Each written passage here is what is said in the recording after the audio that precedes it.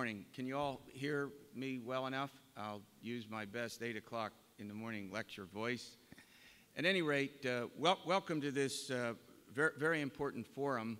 Uh, we will lighten up the, uh, uh, the gymnasium in a few minutes. We have a, a slide uh, presentation that will be part of it, so after that we'll put the lights on.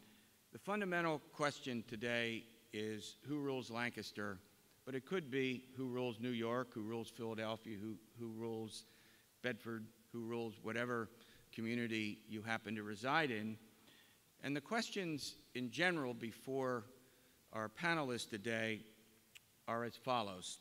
Why should students care about local government, about the larger local community? Why should you get involved? How should you get involved? But even more than that, how can you apply what you have learned here at Franklin and Marshall to the real world with its assortment of messy challenges? Today's Common Hour, with four superbly qualified panelists, will help provide some answers to these important questions, and we obviously then encourage your questions at the appropriate time. The first to address these questions is Professor Stephen Medvic, professor of government before coming to Franklin and Marshall in 2002. He taught at Old Dominion University in Virginia. As most of us who uh, practice government, study government, we know that uh, Stephen is an expert on campaigns and elections, political parties, and public opinion. And his latest book is entitled In Defense of Politicians that's not easy, so I applaud him for trying to do that. At any rate, uh, Professor Medvic, first question to you. Many people think that we should not encourage, and maybe we should even actively discourage, college students from voting. What are the arguments for and against college students voting? Thanks, Terry. Can you, everybody hear? I, I want to start by saying um, that I'm going to a little bit of mourning today for the loss of the, uh, the Pirates yesterday in the, in the playoff game. So if I'm a little more sad than usual, that's why. My, my Pirates season is over. Uh, but I want to I want to answer this question by putting it kind of in a broader broader context. Um, and so I'll try to do this as, as briefly as I can. But I think we're seeing uh, efforts to make voting more difficult uh, around the country. We're seeing more efforts to do this than we've seen at any other time since really the passage of the, the Voting Rights Act in, in 1965. In fact, there, according to the Brennan Center for Justice, there are 22 states that just since 2010 have put new restrictions on, on voting uh, on the books. Um, and some of these are being challenged in court right now, but, but many of these restrictions will be in place for the first time this fall uh, in the 2014 uh, midterm elections. These restrictions uh, in, in these 22 states have, take a variety of forms. In some cases, they make uh, uh, registering to vote more difficult. Um, sometimes they reduce or eliminate early voting opportunities. And more controversially, they um, often, or sometimes at least, require uh, photo IDs to vote. Uh, now, I should say, to be fair, that 16 states, according to the Brennan Center, have expanded voting rights. So we really are seeing a national debate and, and a fight over voting rights um, to such an extent that we haven't seen since the 60s. The Supreme Court, as you may know, is, is sort of on the side of restricting access to the polls, or it has been for the last six or seven years. Uh, it started back in 2008 when they uh, upheld a, an Indiana law that had a very strict photo ID requirement. Uh, but just last year, they struck down part of the Voting Rights Act and as a result made it more difficult for the federal government to, to intervene to invalidate laws that might be, voting laws that might be discriminatory.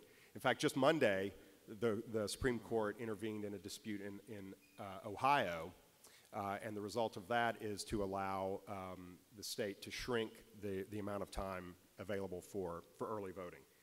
So there's a big battle going on throughout the country uh, over voting rights. These new laws disproportionately affect the poor, uh, minorities, and students. And students in particular are affected by these photo, photo ID laws. Uh, because in several states, student IDs are not an acceptable form of ID to vote. Uh, you may know that in Texas, for example, that has now probably the strictest photo ID requirement, in Texas, uh, a permit to carry a concealed weapon is a valid ID to vote, uh, but a student ID is not. So uh, the efforts to restrict access to the polls, you could say, is just simply a, a partisan move, that the debates over voting rights is just partisanship. Uh, with maybe Republicans trying to, to constrict it to, or, or, to suppress Democratic votes, and Democrats, of course, wanting to expand it as wherever they can because that will help, help them at the polls. But I think there are two arguments that get made, and we should take them seriously. One of, one of which is not, I think, always sincere. Another one is very sincere. The one that's maybe a little less sincere is that these laws, and in particular uh, photo ID laws, are necessary to prevent voter fraud.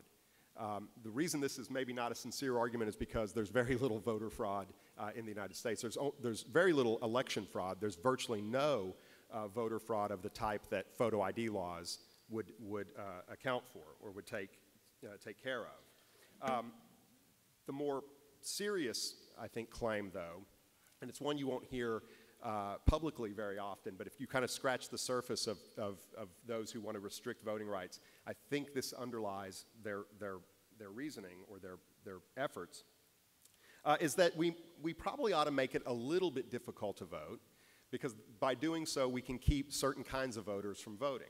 And, and the kinds of voters that they have in mind are not necessarily described as poor or minority or students it, what they have in mind is people who are maybe not that well informed or not that engaged in politics. So the argument is if we put some barriers in place, only people with the wherewithal, uh, meaning the interest or the, the knowledge uh, of politics, to vote will make it over those barriers. And as a result, there, that, this claim is that we really will get better election outcomes because the outcomes will be based on an informed electorate, not just all voters. Um, so this is what justifies, I think, restrictions on, on students, that they typically, you know, they argue that, look, they typically don't have deep roots in the, the community where they go to school, uh, and so they don't know enough about local politics to, to, to cast an informed vote. Furthermore, they're not likely to live in the community where they go to school, so they don't have a long-term interest in that community. And so while we don't want to maybe say they legally are banned from voting, if we put some barriers in place, it'll be hard for them to vote, and then we avoid them casting uninformed uh, ballots. I think students, you know, you could make an, the other argument though, which is that students live for most of the year uh, in the community where they go to school, uh, you know, roughly eight months out of the year, except for winter break and summer break. Uh, and, and they live in that community for four years. It's a really long time to be in a community, and the, the local governance affects them uh, in, in, in really important ways.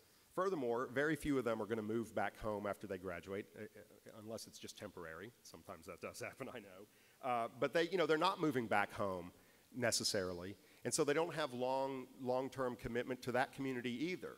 So saying they ought to vote at home but not at school doesn't make uh, much more sense. So students really ought to be allowed, I think, to decide for themselves where they feel uh, more connected, whether it's their parents' community or their school, and they should be, and, and the college, of course, should encourage them to vote here if that's where they'd, where they'd like to vote.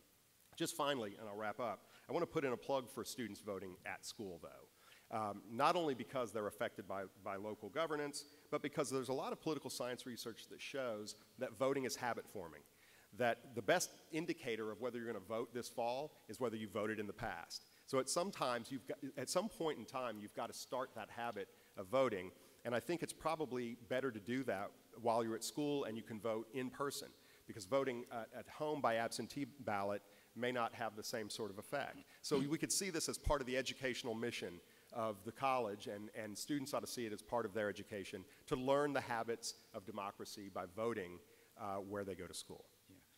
Thanks. And just building on that uh, excellent summary, uh, Pennsylvania's voter ID law, which required seven forms, particular forms of voter identification, was ruled unconstitutional by uh, a, an appeals court, the Commonwealth Court in this state, and the governor and the administration has decided not to appeal it.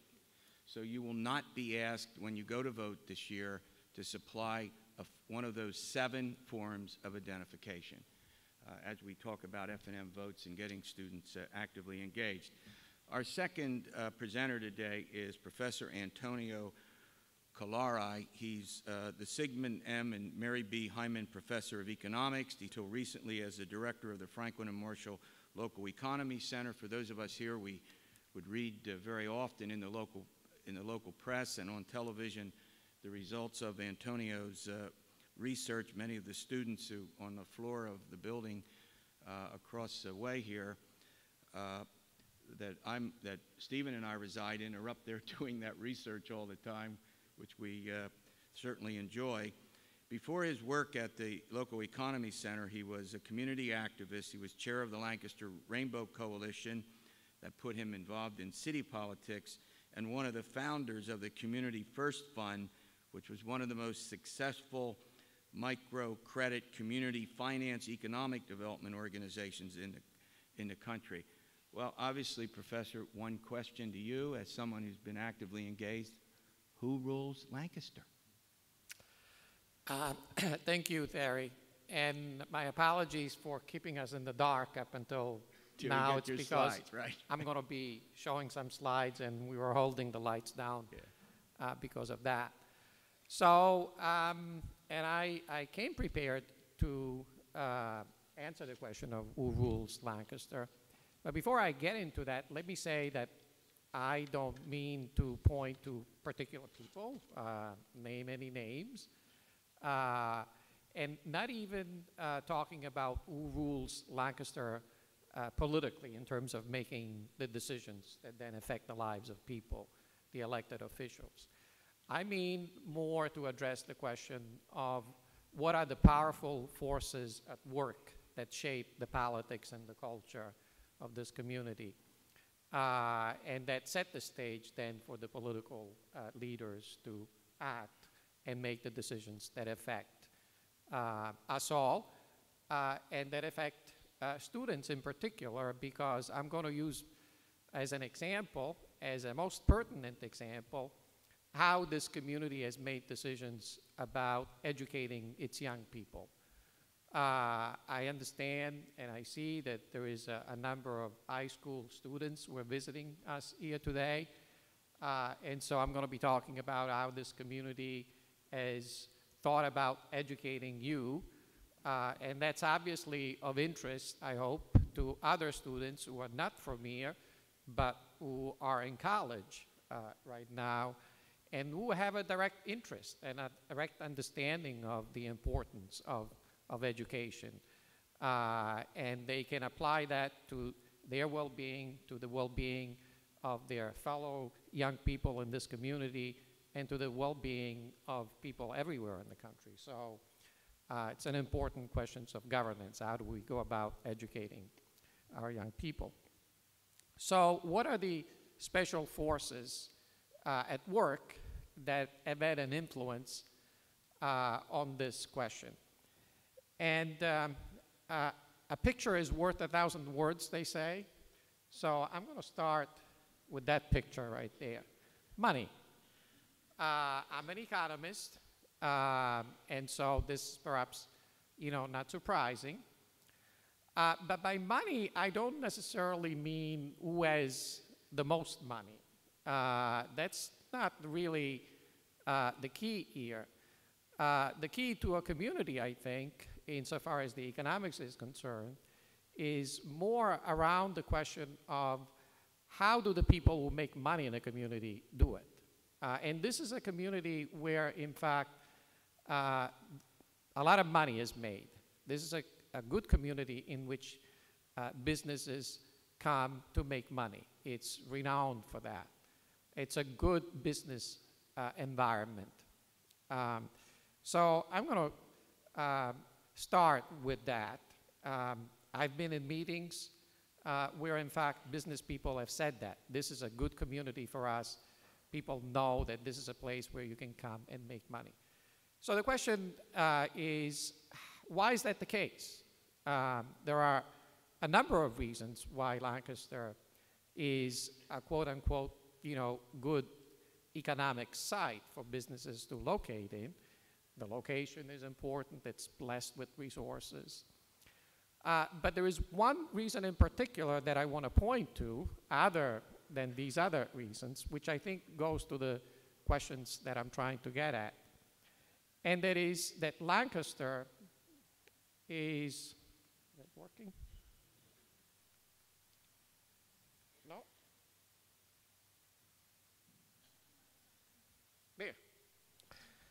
Uh, that Lancaster is a place where wages tend to be lower than in other areas. And what you have there is occupational wages. And what the table here shows is what wages in Lancaster are relative to the region, which is other counties uh, surrounding Lancaster County.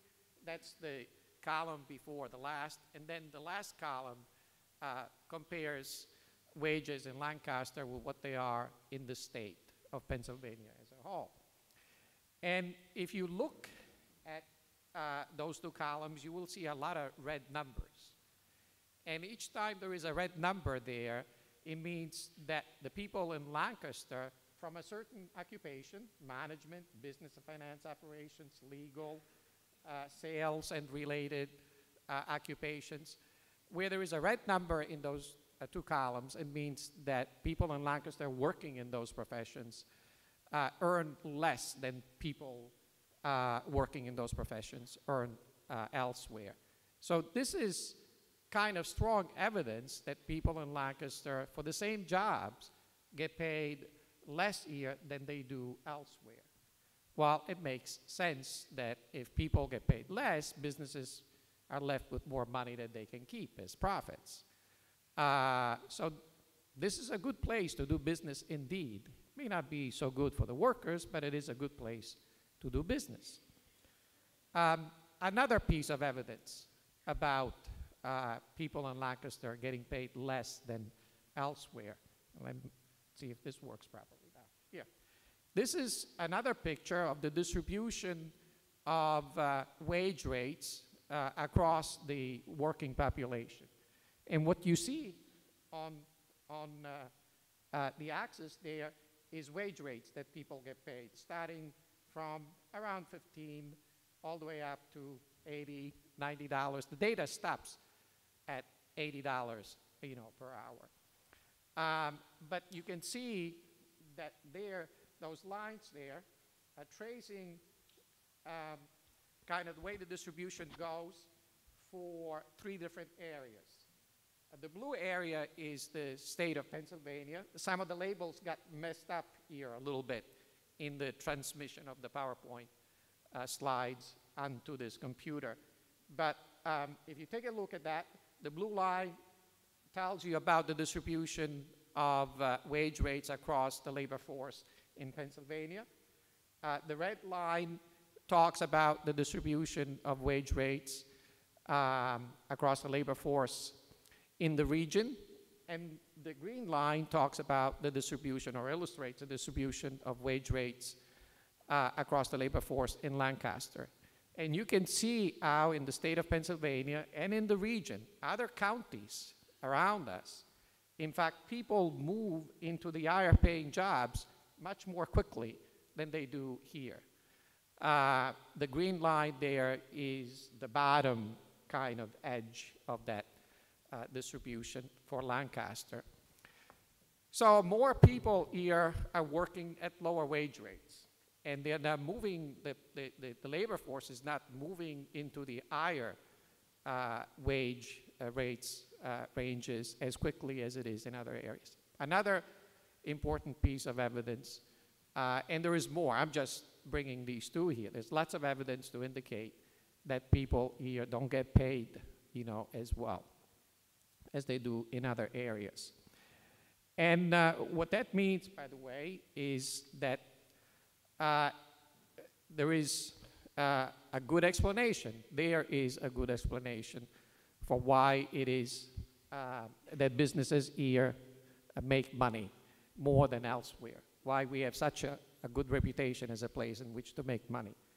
It, uh, we can squeeze more out of the workers here. Businesses tend to squeeze more out of the workers here than elsewhere.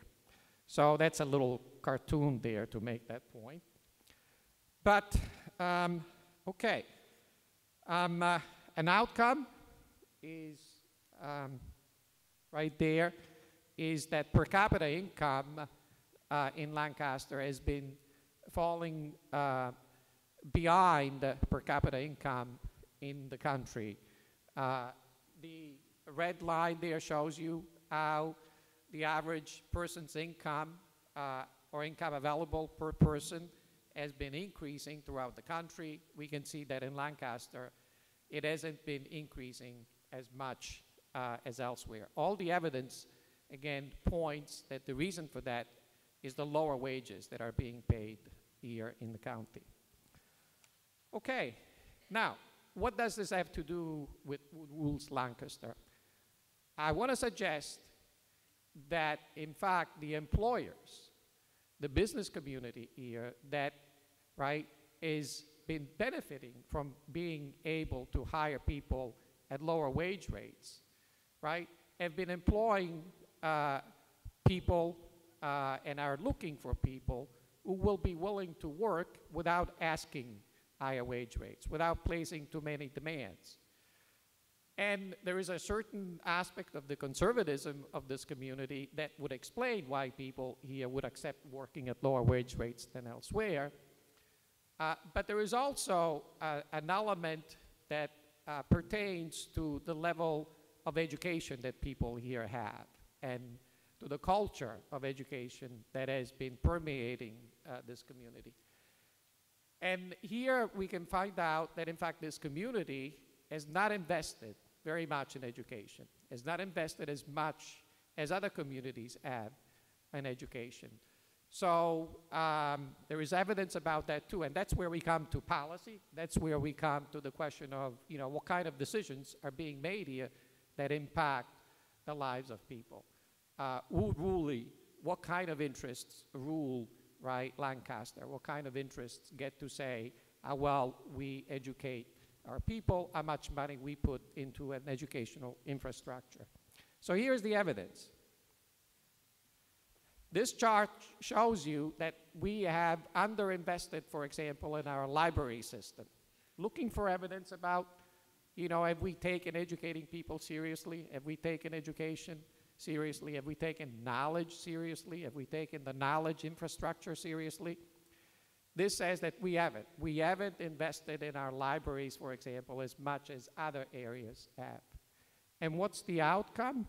Well, the outcome here is that, in fact, people are not as well educated in Lancaster as they are in other places. Um, if you take a look at what this chart here is telling you, Lancaster is at the bottom right there. And uh, uh, the uh, blue and uh, green uh, parts of the bars there indicate the percentage, you see, of the population, which is 25 and above, right, whose degree stops at high school. Uh, beyond that, you begin to talk about post-high school education. Uh, some college or uh, college degrees or higher level uh, degrees. And you can see here that the percentage of the population in Lancaster that has higher levels of education is considerably less than in other areas.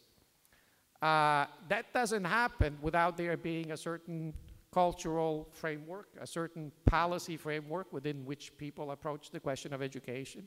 And people just don't go to college around here as much as they do in other places.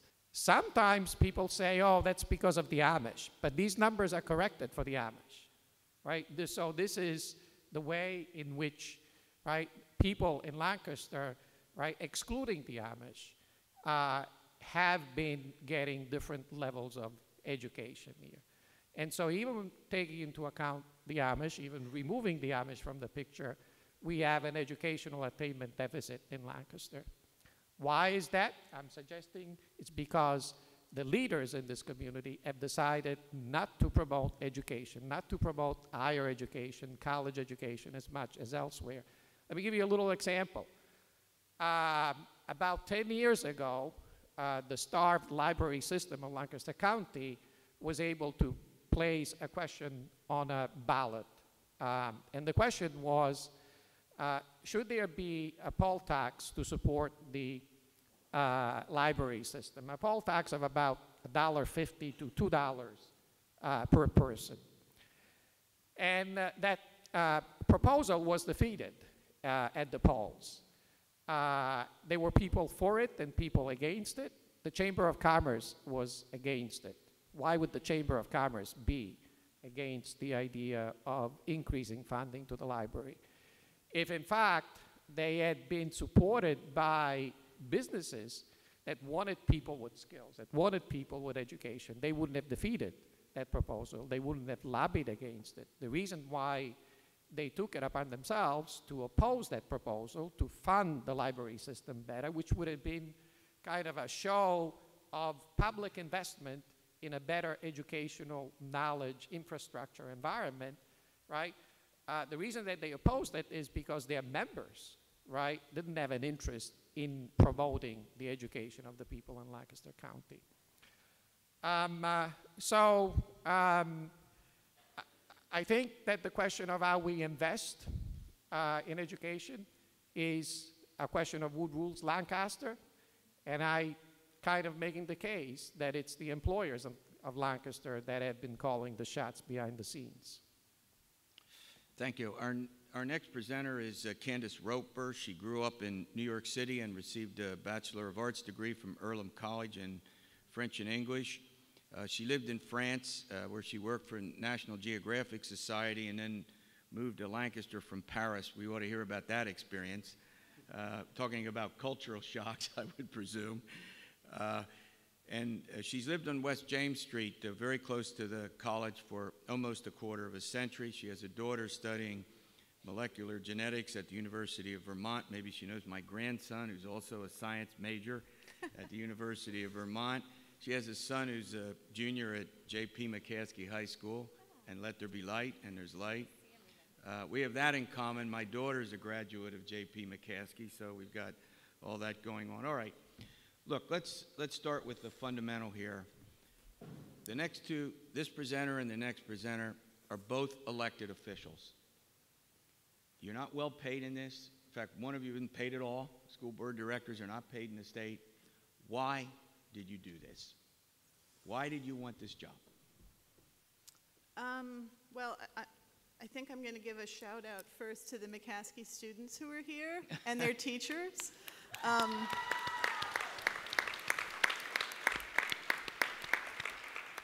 and also to anybody else in the room who's a McCaskey grad, who's gone to our schools, who has kids in our schools. Um, my daughter graduated from JP McCaskey. My son is there now. Um, I guess I'll just tell the story of how I was elected to school board, which is still sort of surprising. Um, I had kids in the district. I volunteered a fair amount at the schools. I really have to admit that I was never interested in how school boards functioned or even local government was not ever something I was really interested in. I had never, well, I guess the only politician I'd ever spoken to was I found myself in the, um, the garden of the Elysee Palace in Paris. I was on a photo shoot with a photographer with the president of France. Um, and there was supposed to be no interview. It was just me and the photographer. And suddenly I hear him saying, loosen him up. and um, so we st I started walking with Francois Mitterrand, the president at the time. We were in the garden with his black Labrador retriever who was eating geraniums off of their stems, and he was yelling at the dog, whose name was Baltique. And I just found myself thinking, oh my God, what am I going to say to him? And, and Jim, the photographer, is saying, chat him up. So the first thing that came out of my mouth was, I really like the pyramid. And at that time in Paris, well, actually the whole country was sort of up in arms and was horrified at the idea that a glass pyramid was built in the courtyard of the Louvre. And I actually thought it was fantastic and knew enough to know that um, when the Louis were kings, they actually often set up temporary pyramids, so it had historical value. So anyway, I awkwardly told him how much I loved the pyramid, thinking, oh my God, you idiot and his face broke into an absolute beam. And I heard the photographer saying, Excellent, keep going. so, anyway, that was really the only time I ever, and I wasn't really thinking of politics or his job, although I did, it did make me realize that he like made this decision and the whole country was sort of mad at him for it. Um, so I was asked to run for school board. School board is an elected position. I knew little to nothing about it. I was asked by some local um, Democrats if I would be willing to run, and um, I really couldn't, I, I thought, what am I going to do? Say no? And I couldn't think of a good reason to say no. So I said yes and found myself running, and then I found myself elected. And then overnight, one finds oneself going from being, I was just like a single mom with two kids in the district, not knowing anything really about how the district was run, and I suddenly found myself in the position of helping to make the decisions to run it. Um, I don't think most people know or care much about school boards, but in Lancaster at least, um, there are nine of us. We are totally unpaid. There are no perks um, other than an occasional dinner. Um, there are nine of us so that in a vote, it will never be tied.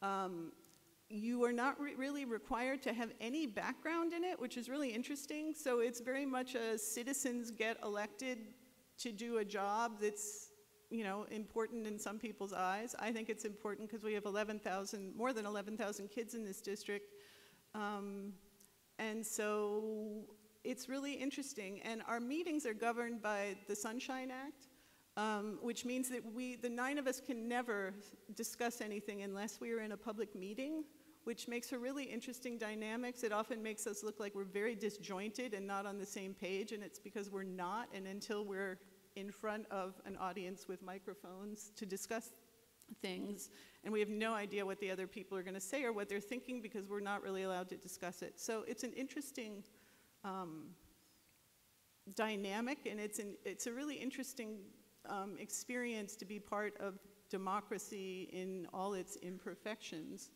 Um, that's what I got. Okay, we'll, we'll, we'll move on. The next uh, individual, uh, Danene Sorace, is uh, currently a consultant at the Grove Foundation, which is based in uh, California. She has 20 years of experience in nonprofit administration and philanthropy.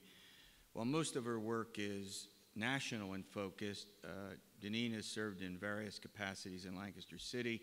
Last year, last year, right, you were elected to uh, City Council. She has a bachelor's degree in psychobiology from Albright. We'll forgive her for not going to F&M. Uh, and a master's degree from uh, Rutgers University. The same question to you, and you know, one of the things I think we ought to get to is, are you are you motivated by some sense of civic and public? You know, a lot of that is learned. You know, you you grow up in a family where, and here at Franklin and Marshall, we're saying to the students here, get involved in a community. Get involved. We don't care precisely what you do. Get, as Stephen often says, get involved in politics. We don't care what it is. Give something back to the community. Was that a, a big motivator for you? Thank you, um, and thank you for having me on today's panel. I, yes, it was a motivator for me, and, and you know, hindsight being 2020, I can look back at my growing up experience, and I can remember going to the polls with my parents at a very young age, and then um, having the opportunity to cast a ballot. Um, and the first, um, my first vote was I get to vote for who the president of the United States was, and that was a big deal um, for me. I have to say, when I was in college, you know, I was doing the absentee ballot thing. I wasn't voting necessarily in Reading, and I was pretty disconnected from local politics um, during those four years. Um, a few years later, I moved to New Jersey and became uh, really involved with um, a woman who whose husband was the associate director of communications in the Kennedy administration, and she helped to establish the Kennedy School with uh, Jacqueline Kennedy. And it was through her experience at that pivotal moment of history of being involved in and around with, um, the White House that got me really engaged in politics in a new way. And she was always inviting me to the Eagleton Institute for Women in Politics talks at Rutgers University, and I had the opportunity to meet a lot of, of um, really remarkable people. Ann Richards, um, former governor of Texas, made a big impression on me. Um, it's hard not to. Um, she's um, pretty legendary. And in the process of getting to meet particularly women leaders, it, it kind of occurred to me like, well, maybe I'll run for office, but it didn't, it wasn't like on my horizon as like a job that I was seeking out and that my, my path in life was going to take me down um, this particular road. And then when I moved back to Lancaster, Pennsylvania's home for me, um, I got involved in an initiative uh, related to green infrastructure. Okay, I knew nothing about green infrastructure. Maybe you don't either. But we in the city of Lancaster have a combined sewer system and about a billion gallons of stormwater, especially when it rains. It overwhelms our system, and that polluted stormwater goes into uh, Conestoga River, flows into the Susquehanna, heads on down to the bay, and we're responsible for cleaning that up. And the um, EPA has given us 25 years to do it. It was in the process of um, working with an organization um, then known as Live Green, now part of the Lancaster County Conservancy, that I became part of the process of developing a plan, um, putting together policy proposals, and then um, subsequently having the opportunity in February to vote on that proposal, which, you know, was a mixed bag because basically what it means is that property owners pay more um, because now there's a stormwater fee that's based on the size of your property and um, how much impervious surface you have. So, meaning, like if you have a house, a small house, you're paying maybe $30 a year, but if you have a large parking lot and all that water's running off, you're paying thousands. It was a really interesting experience for me because here I was, I was very interested in environmental issues just personally, not having a lot of experience in it, but learning fast and then having to come up with a policy solution that was equitable, that was a, that attended to the various issues of um, property owners here in the city of Lancaster. And we have a um, concentrated population of folks who live on limited or uh, low income residents. And what were the implications going to be for those folks, as well as the people who we want to continue to invite to do business in the city, related to um, future development. And so, how do we come up with the most equitable strategy? And so, it was uh, an eye opening experience going through that process. And um, as I stepped down from my role with the, at the Lancaster County Conservancy, a few months later, I was asked to step in for a council member who had decided not to run after the primary. And so, you know, I gave it 48 hours of thought, and I was like, you know what? This is four years of public service to the community that I've come to know and to love. And I want to be that steward of resources and, a, and provide um, a thoughtful perspective on the kinds of issues that come before our city council on a regular basis. And so, yes, I am motivated by the greater good, and I think that's okay. And, um, you know, it's been a steep learning curve since January. Well, we have uh, only 2,500 elected officials in this state, so at the local level. So there's a lot that can be done, which leads me to a question for Stephen. But before I do that, anybody want to respond to anything that was said before we go ahead? I do. Go ahead.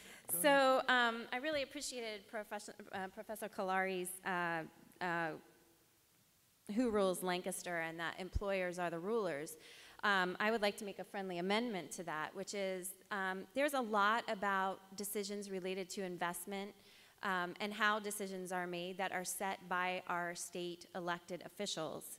And one of the most, uh, and, and certainly uh, Candace can talk about this, but I'm a parent of a third grader at Fulton Elementary School. And I have seen um, the implications of inequitable funding and the very last minute um, task that the school board is given to not know how much money they're working with uh, at the end of the school year and beginning the next fiscal year. And these decisions about how we equitably distribute income to schools who have a lower tax base is a fundamental reason why I believe that we have lower rates of educational achievement in Lancaster. And I think that to let Harrisburg off the hook and to just say that it's the employers is not quite the whole story. The other thing that I would like to say about that is pension reform. The inability of our leaders in Harrisburg to take on municipal pension reform. It's, it's been not discussed. You'll hear it and you'll think that they're talking about police and fire, but they're not. They're talking about state employees and teacher unions. Their inability to take that on is dramatically affecting our ability to meet the fundamental needs um, in our community. And I think that those decisions and the impact of Harrisburg and their lack of action on some of the fundamental issues about how resources are allocated is very important to add to the conversation. Just as a footnote to that, the, go ahead, you're allowed to applaud. I, th- I think we're reliving one of the big issues in the governor's debate Yes. uh, at the moment. At any, at any rate, the two pension systems that uh, you were referring to have pushing a $60 billion debt, 60 billion, and it's 20% on average. If you take the 500 school districts, the average debt or the average pension payment is 20% of the school district's budget in this state. Some more, some less. So if you take health care, you're talking about 25 to 30% of the budgets of schools that are already locked into fixed costs that don't go to educate, as we like to say, the kids. Uh, Stephen, a question for you. We, you, you spend a good bit of your life studying government, the state government, federal government. Is local government sort of the lost area where, you know, it, it has in some ways the most immediate and direct impact from police, the garbage collection, the property taxes at school that folks have to pay to the schools, the highest tax that people pay, the most unpopular tax anywhere is the school property tax. What, what impact is that having? Why should students here at this college get involved in, in local government? It, whether it's advisory, whether it's going into the community and assisting in a whole variety of, of civic engagement programs that F&M sponsors that, that we put on here? Well, I mean, arguably, the, the decisions that get made that have the biggest impact on your everyday life are made, you know, at the local level. The, it's easy to kind of follow the national, to follow national politics and state politics because there's a lot of media covering politics at those levels, and a lot of times the, the issues there are, are um, kind of sexy um, and, and symbolic, largely, often. Um, and so they're interesting to, to talk about and to think about. But the, the, the things that happen at the local level uh, have a real impact on your quality of life, uh, the way you live your life every day. I mean, look, if, if Ferguson, the events in, uh, of Ferguson this summer uh, tell us anything, it's that local government and local politics matters tremendously. And that if a large portion of the population uh, is disenfranchised or alienated uh, from local politics and local government, it has disastrous uh, consequences for the community. So no matter what you think happened in Ferguson and what your position on what happened in Ferguson is, you, I don't think anybody can deny that, um, that, th- that the issues that are being grappled with there are, are vitally important. Uh, and that it is important for, for every member of the community to, to have a role in what the, what, what the vision of that community uh, is going to be. So whether it's policing and public safety, you know, uh, housing and zoning ordinances, transportation. Um, there's a whole, whole economic development. Um, if you want to be able to go downtown and go to, to good restaurants and, and have fun on First Fridays, and you know that, that's a vision for how the community ought to, ought to, ought to operate. And, and I would argue that you know there, there are competing views about what any local community should be like, um, and those, those views get hashed out in campaign, local campaigns. And so I, I mean, I think it's of, of vital importance for, for students to, to pay attention and to be involved in local communities or local politics because it affects them and their everyday lives. Yeah, I mean, what, the obvious purpose of this forum is to, I think, talk a little, a bit about, not a little bit, but almost exclusively about how students can get involved and why they should get involved. Let me go to the two elected officials. I mean, you live in a world of mandates and state and federal requirements, which, you know, many of them well-meaning. I think you would agree. Many of them important, but they bring costs for which you're not reimbursed for, which spill over into your ability to deliver services. How vital are the civic and other community engagements that a whole host of community groups play in assisting what you do? Either one. I'll take that. Um, one of the, well, one of the most awful parts of being on a school board is that we have to balance our budget, and if we make cuts, which we inevitably have to do, we have to cut entire programs. We can't cut a teacher here or part of a program there, and we also can't cut any programs that are man- state mandated. Um, so, for instance, arts, the arts are not mandated. There are no standardized tests. I personally feel like the arts in our school district are one of the greatest parts of our district, and I would be really hard pressed to make cuts. But we're we are forced at times to cut things we don't want to cut, and that means an entire program. So the arts are not at all in jeopardy as long as I have anything to do with it. Um, but it does present us with interesting uh, dilemmas, and fortunately, in the school district of Lancaster, we have a lot of great community partners. Um, Lancaster General, for instance, donates a million dollars to the district, which, and they also work with various programs on nutrition and exercise. Um, our schools, more and more, one of the phenomenon in um, urban school districts is because of the poverty which we deal with, which affects our students in so many ways, from not being able to concentrate because they're hungry to not having a steady home. So schools are becoming community schools and are providing more and more services to the families of students.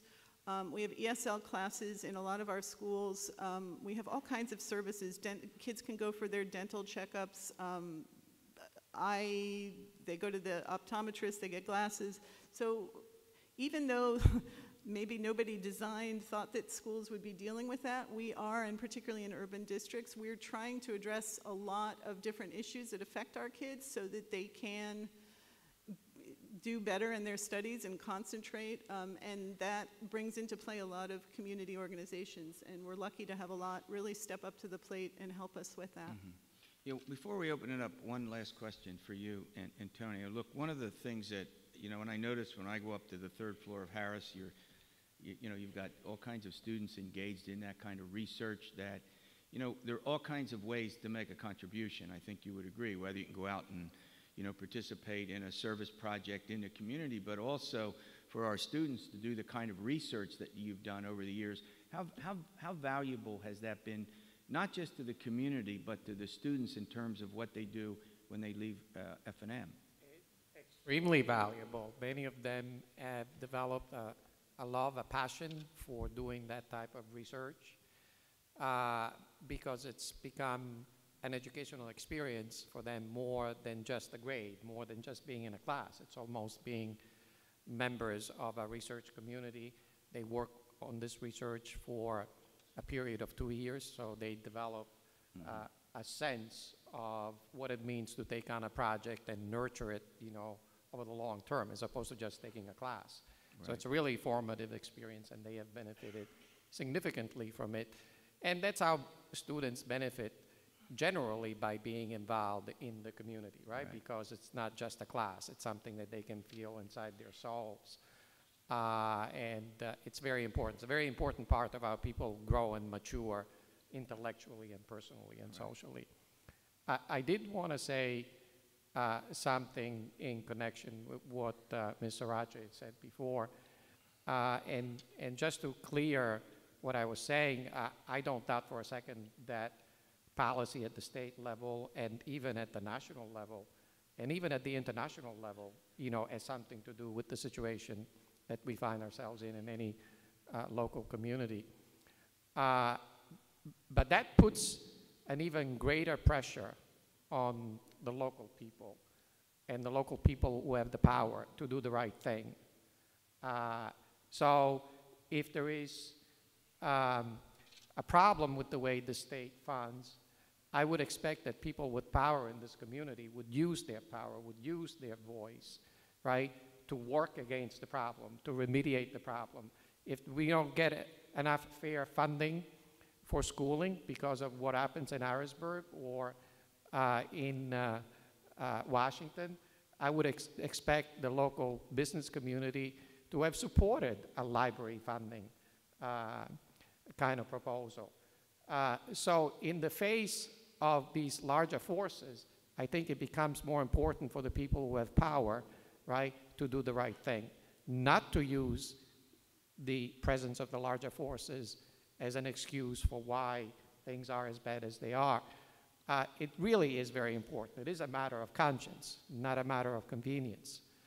Uh, and, and the data that I had there, for example, about lack of educational attainment, that was for Lancaster County as a whole, not just for the city, where there is a concentration of poverty, and where in fact funding issues and fairness are particularly uh, felt. And I think the local educators are doing the job, the best job that can be done. I trust them, I support them, I don't question them for a second. I do doubt that the environment, though, is one that is propitious to their being successful at educating the kids. And the local leaders have a special responsibility to make that work better. And if they don't, it's a political fault of them. Okay, thank, uh, it's your turn. Questions, come to the microphone. Come on up. Name, don't be bashful. We have about uh, 10 minutes left. You all gonna sit there? Oh, here comes someone. While, uh, while the uh, questioner is coming up, I want to point out that Lancaster, the city is actually fairly healthy as cities go in our state. We're not one of those so-called distressed cities. I think it's got a vibrant cult- cultural, historical, economic uh, uh, growth going on. So amidst the problems that the city faces, comparatively speaking, the, the city of Lancaster and the school district are certainly in better shape than many other cities and school districts in the state. Yes, go ahead. Hi, my name is Fatu and I'm from Brooks College House. I'm majoring in government and business. Um, and I think I have to like first apologize if my question anyhow um, offends you or anyway. But like as a government major, um, like for many of us here who also are passionate about social change and, tr- and trying to impact our communities, and when people ask us, "Oh, do you want to go into politics?" many of us said no because politics corrupts. And that's one idea that's way uh, away from necessarily being elected or like running or some kind. And so like I have a question for you, the elected officials, because you mentioned that sometimes you, you are forced to do something that you don't necessarily want to do, like uh, such as cutting funding for arts or of some kinds. And uh, the, the comments that the professor just made has elected official in a local government, how, I guess, like, do you respond to the comments that the politics corrupts because you feel like the bigger powers and the national and state governments are not really allowing you to do what you are elected to do in the first place? Elected officials. So I totally get the, you know, we were just having the conversation at the beginning, you know, that I'm a politician now, and I'm like, oh, I just like that. That just hurts a little bit in some way. Um, I, I like to think of Stephen myself. said it's okay. Yeah. He'll help. Embrace he'll it, help right? you out. He'll help you Um, out. because that comes with you know just like all these um, frameworks mental frameworks about what does that mean to be a politician and and how you respond and how you conduct yourself um, and i think that the thing that's different i've been on lots of nonprofit boards and so on. The things that's different about being an elected official is that you do answer to the public. And as candace was saying you're having these conversations and you're trying you're you're in the process of spinning out your your thinking about a topic an issue in in view of the public. And some of that happens behind the scenes of course but the kind of discourse that I think we should expect from our elected officials. I don't know if you've gone to some of the meetings, but sometimes it happens, but a lot of times it doesn't. And so I think that if I'm getting to your question about, you know, what's the challenge with that, or how do we, um, how do we sort of live in this political environment when there's all these other forces and still make the best decisions? I think that's one of the things that's attracted me to lo- local government because I actually feel like what I'm doing is affecting not just me and my family because we live in the city, but my friends and neighbors and the community at large. And it's much more direct and tangible. Like somebody calls me and says they have a pothole. Like, okay, I know what to do about that. I can call the director of public works and I can make sure that they know about it. It doesn't automatically get fixed the next day. Or I, uh, we're at F&M, I'll be totally frank. Lots of calls about the house at the corner of um, Walnut and Charlotte Streets. lots of call, lots of letters about James Street, Frederick Street, corridors, uh, late at night, trash, loud noise, etc. You, you know, this is a college community. I get it. But I would say that one of the things that is really um, important to me, to, and I recognize, and I don't know if other people see it this way too, there's a very close symbiotic relationship between the strength of our community and its livability and how well we recognize that we live in close connection with other people and we need to be respectful that people might be sleeping at 2 a.m. Um, with all of the great things that are happening in the city, people are wanting to move into the city, and that is driving more expansion related restaurants and economic development and so on. It also means that it's much more inviting for students to come to a community like this because there's more amenities available for you. So when I first came to Lancaster, there was one hotel, was the Hotel Brunswick. Mm, not so much. And now you have lots of great choices in terms of when your friends, family, guests come to town. The other thing that I would say is that there's a symbiotic relationship just spreading this out from your walking down James Street to the health and well being and vitality of the city to the county to the state.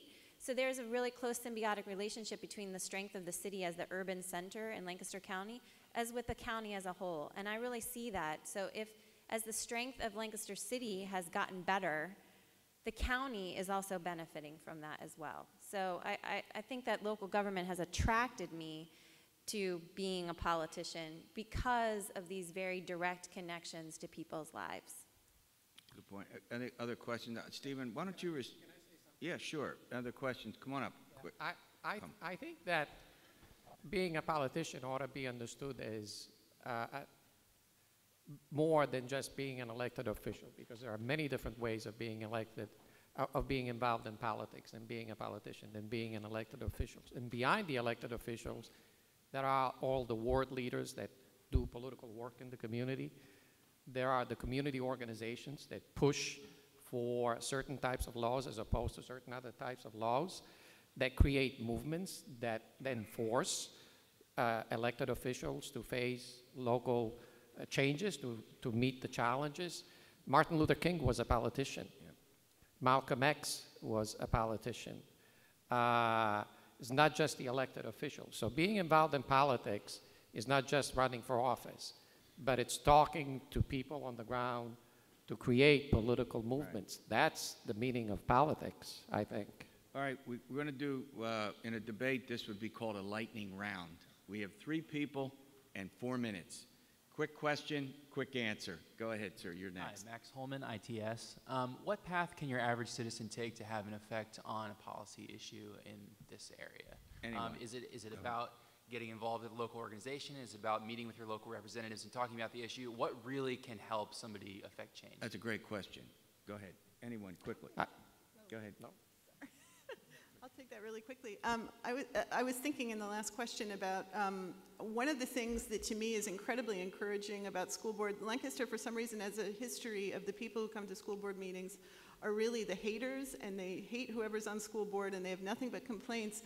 And in the past couple of years since I've been on, we've found more and more parents who love our school district and who are getting involved in terms of just supporting us. And I think that um, as an elected official, one of the worst things is apathy on the part of the people. So if you have nobody, and, and that doesn't mean people need to come to school board meetings because they can be rather dull. But I think that for those of us who go from being sort of Joe Schmo to being an elected official, it's really nice to feel like your community does is interested in certain issues. And I- I mean, I, you're probably not interested in school board issues yet, but if you are interested in green infrastructure or something, now you know Danene, or you, you maybe might go to a city council meeting, which you've never, you know, maybe done before.